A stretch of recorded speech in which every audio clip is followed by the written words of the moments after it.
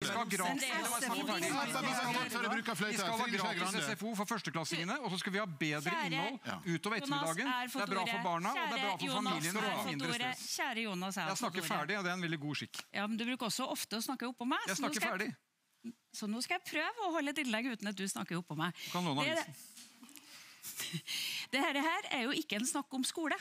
Det er snakk om hvordan vi rigger hverdagen. Vi skal ha en god SFO, vi må ha bedre innholdet. Vi må gjerne gjøre lekser der, så det blir mindre lekser å gjøre hjemme.